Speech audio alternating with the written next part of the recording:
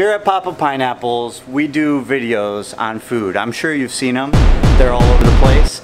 We post them and we share them for you so that you know how we make our food. Obviously, we don't serve that food.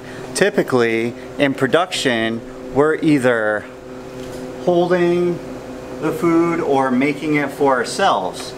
Now, we've caught a lot of flack lately because there's this thing going on called the coronavirus. Well, let me be honest and straight up with you. We always wear gloves when we make your food. And let's be real, the only corona that's in this place is not a virus. Papa Pineapples, refreshing. We understand sanitation is important. So if you want to come and mystery shop us, feel free to come on in. You can always come in the back and check us out. Only gloves around here. We have love for the glove. You know what I'm saying? We do not make anybody's food without those gloves.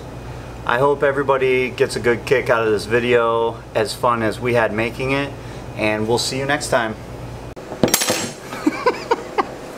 How was that?